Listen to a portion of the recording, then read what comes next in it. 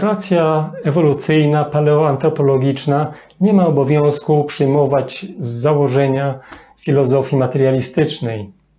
Może wziąć pod uwagę klasyczną teorię człowieka, antropologię filozoficzną, która rozpoznawała już od czasów starożytnej Grecji trojaką duszę w istotach żywych, wegetatywną, zwierzęcą i ludzką, nieśmiertelną.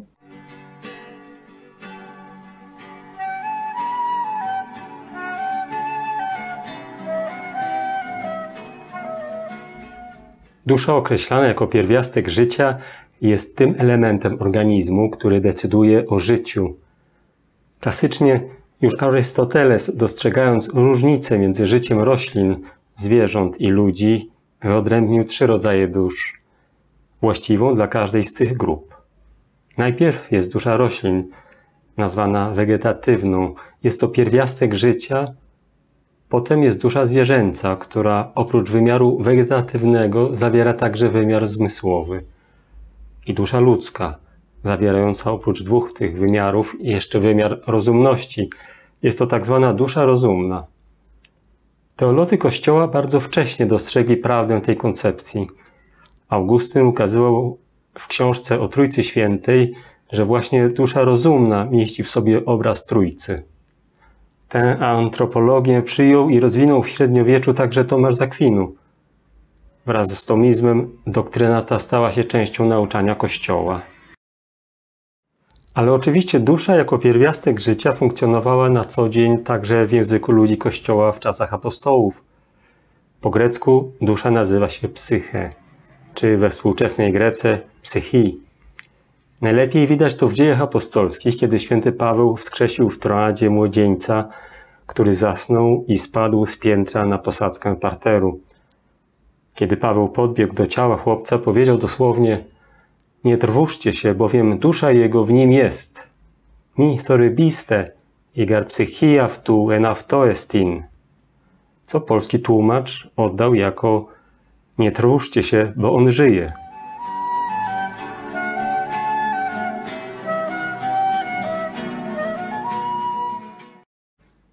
Przyjęcie materialistycznej filozofii człowieka i świata przez uczonych w XIX wieku sprawiło, że zaczęli podchodzić do znalezisk, wykopalisk w sposób instrumentalny, ponieważ mieli teorię, chcieli jej potwierdzenia w faktach.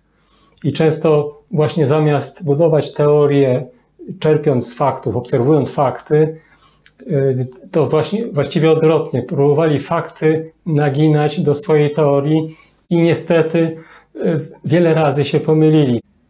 Takim wielkim błędem była interpretacja Neandertalczyków. Ślady tego błędu można jeszcze dziś spotkać w amerykańskim Muzeum Historii Naturalnej w Nowym Jorku. Informacja na ich temat z grudnia 2019 roku mówi, że wprawdzie byli podobni do nowoczesnych ludzi, czyli do nas, ale nie mieli jeszcze symbolicznego myślenia – w domyśle byli poprzednim stadium ewolucji człowieka. Tekst brzmi następująco. Neandertalczycy byli niezwykłą grupą.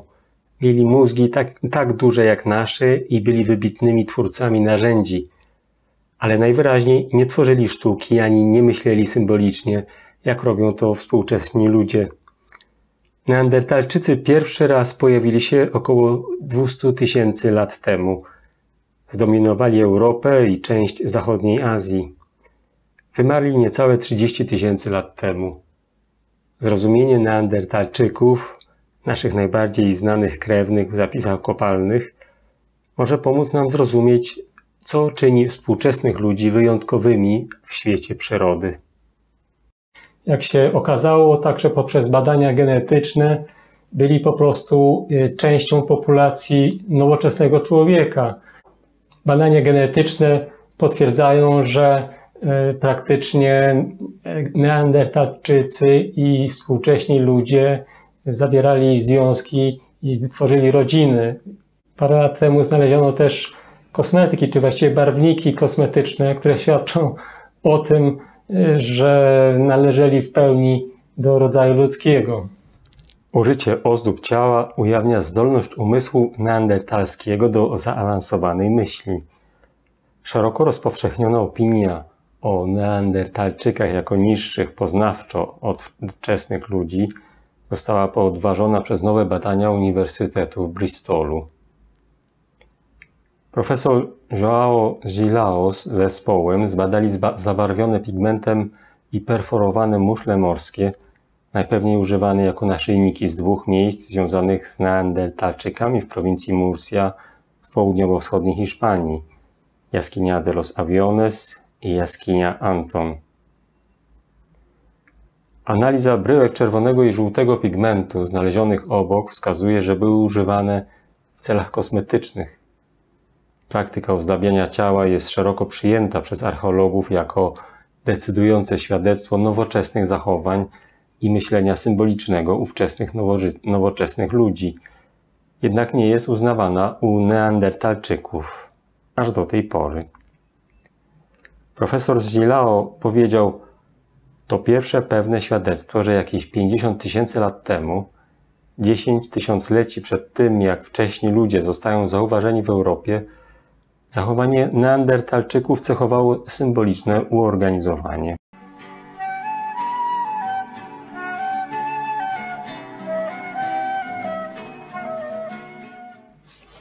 Jednak po odnalezieniu pierwszych szczątków w XIX wieku zaczęto ich bardzo szybko przedstawiać jako ogniwo pośrednie w ewolucji człowieka. Tym bardziej, że pierwsze odnalezione fragmenty kości należały do osoby, która chorowała na artretyzm czy jakąś podobną chorobę i miała kości powykrzywiane i zgrubiałe. Odbijało się to także w ilustracjach. Po prostu neandertalczycy mieli buzie prawie że podobne do małpy i tak dalej.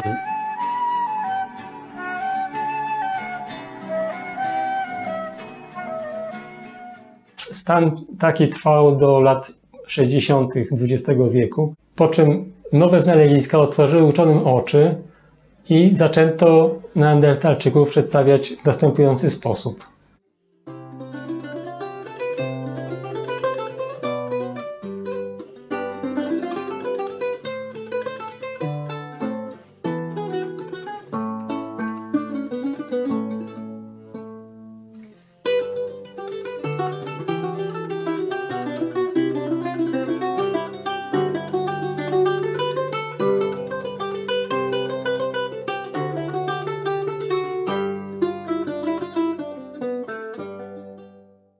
Zarówno narracja papieska, jak i narracja przyrodoznawcza uznają, że początki człowieka są okryte tajemnicą, sekretem. Jedna przedstawia pierwszą parę początków ziemskiej historii, tak jak na tym fresku Masaccia, Adam i Ewa wygnani z raju.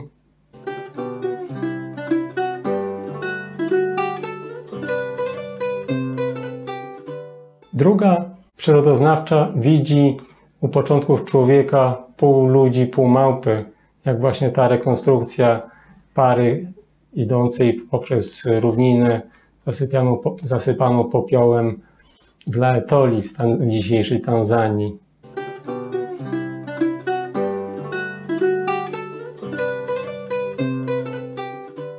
Według stanu badań na dziś lepiej widzimy, że w ciągu tych 3,5 miliona lat układ kostny człowieka ulegał zmianom pewnej ewolucji, ale nie są to radykalne zmiany ewolucyjne, które by ukazywały, nie wiem, ewolucję wieloryba z małży, czy właśnie człowieka z jakiejś istoty czołgającej się na czworaka po ziemi.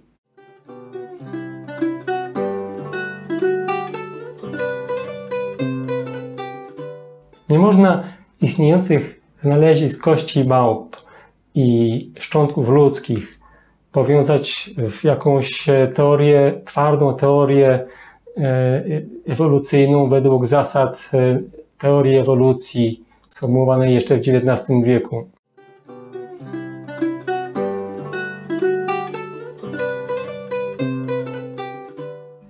Teoria ta pozostaje jedynie teorią, której potwierdzenia szuka się w znaleziskach i jak dotąd tego potwierdzenia znaleźć nie można. Uczeni zgodnie dziś przyznają, że szczątki ludzi sprzed 2-3 milionów lat są w sumie podobne do, do szkieletu kostnego naszego. Uczeni dostrzegają, że nowocześni ludzie, czyli my, pochodzimy od wielu różnych, czasem luźno ze sobą spokrewnionych grup wczesnych ludzi. Jak w tym artykule zatytułowanym Czy nasz gatunek wyewoluował z wielu oddzielnych populacji w całej Afryce i dlaczego to ma znaczenie? Artykuł napisali uczeni z wielu wiodących instytutów i uniwersytetów, głównie angielskich i amerykańskich, ale też niemieckich, skandynawskich, francuskich i koreańskich.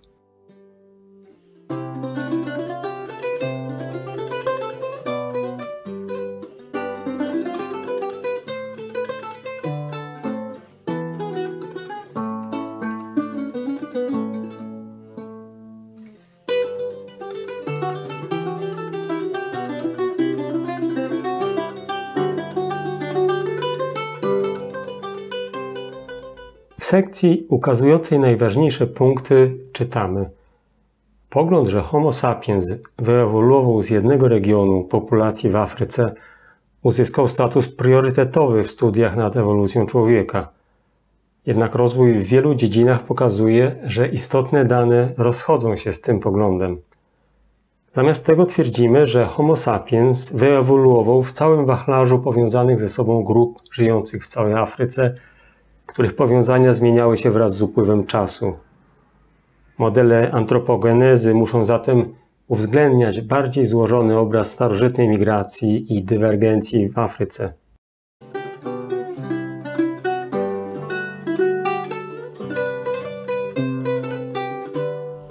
Inny artykuł z 2018 roku mówi o odkryciu narzędzi wytwarzanych przez ludzi ponad 2 miliony lat temu w Chinach. To również zupełnie rozchodzi się z teorią liniowego rozwoju ewolucyjnego człowieka. Ujęcia te przedstawił już 10 lat temu w doskonałej analitycznej książce Ludy czy Małpoludy jezuita ojciec Piotr Lenartowicz.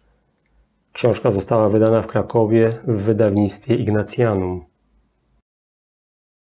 Początki człowieka pozostają na razie ukryte, pozostają sekretem, tajemnicą, czekają na nowe znaleziska, nowe odkrycia archeologiczne. Przyszłe znaleziska mogą teorię ewolucji skorygować jeszcze bardziej albo zmienić całkowicie, dając materiał do stworzenia nowej teorii powstania człowieka, która najprawdopodobniej będzie bardziej zgodna z danymi biblijnymi. Na razie zarys historii ludzkiej, który wyłania się ze znalezisk paleoantropologicznych, bardzo dobrze wpisuje się w narrację biblijną, narrację papieską. Wpisuje się w to także rodowód Jezusa Chrystusa, który stał się człowiekiem po to, aby odnowić rodzaj ludzki.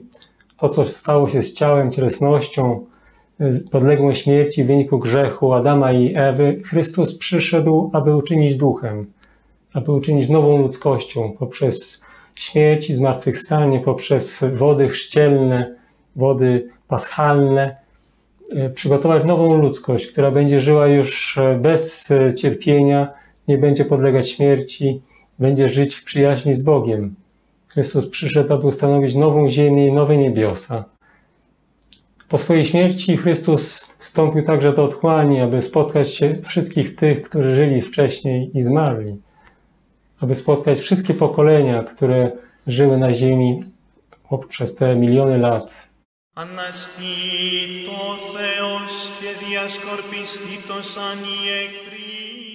W Jego śmierci i zmartwychwstaniu otrzymują życie wieczne, otrzymują przebaczenie, otrzymują na nowo wejście do raju, nowego raju, do Królestwa Niebieskiego, do życia wiecznego z Bogiem w przyjaźni i między sobą w miłości. Αναστεί το Θεός και διασκορπιστεί το σαν οι εχθροί αυτού και φυγέ το σαν από προσώπου αυτού οι μισούντες αυτόν. Jezus po swoim zmartwychwstaniu, kiedy spotkał Marię Magdalenę, wypowiedział do niej bardzo istotne słowa. Mówi: Idź do moich braci i powiedz im: Wstępuję do Ojca mojego i Ojca waszego, do Boga mojego i Boga waszego. Zupełnie nowe rozumienie tych słów pojawia się w kontekście milionów lat ludzkiej egzystencji. egzystencji upadłej, w grzechach, gwałtach, wojnach bratobójczych, budowaniu imperiów na wzór imperium wieży Babel. I oto Chrystus zmartwychwstały jako nowy Adam, początek nowej ludzkości, wstępuje do Ojca na wyżyny ludzkiej egzystencji dotąd przez miliony lat niedostępne z powodu grzechu pierworodnego. Jezus mówi Marii Magdalenie, która jest tu symbolem Kościoła, idź do moich braci i powiedz, jesteście wszyscy zaproszeni do tego, aby razem ze mną wstąpić do, na wyżyny Bożej egzystencji. Potrzeba tylko jednego, potrzeba wiary. Potrzeba, abyś uwierzył, że ja jestem Twoim Zbawicielem, że ja zwyciężyłem grzech i śmierć i poprzez zmartwychwstanie, poprzez posłanie Ducha Świętego mogę Ci dać nowe życie.